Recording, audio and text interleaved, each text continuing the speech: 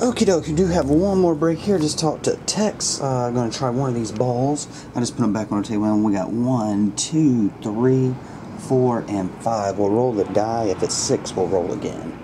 Here we go. What number is that? Four. Alright.